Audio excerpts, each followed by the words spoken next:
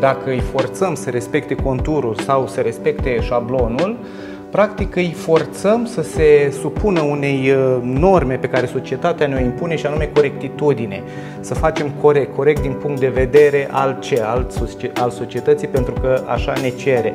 Ori nu, în momentul în care uh, eu personal îi spun copilului să respecte un anumit uh, tipar, un anumit contur, practic, în loc să îl lasă să se exprime liber, copilul se blochează.